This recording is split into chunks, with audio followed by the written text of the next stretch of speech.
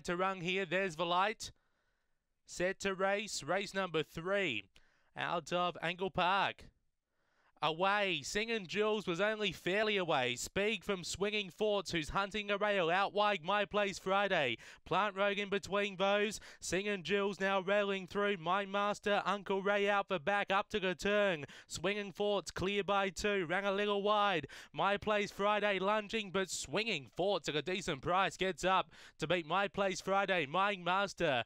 Plant Rogue, Singing Jules back towards the end and uh, Uncle Ray, the last one in 1971, but time.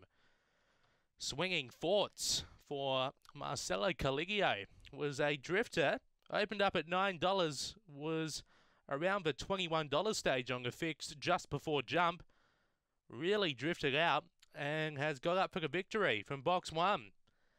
Beats home the 8 which was My Place Friday. Graham Smith, third number seven, My Master. Des Hockley, and fourth, number five, Plant Rogue, Michael Stewart. And the odds on Singing Jules just struggled to work into it. There was a stage where it looked like he was going to be competitive, but um, just dropped off over the concluding stages. 1875, those numbers. 1971, 779 early.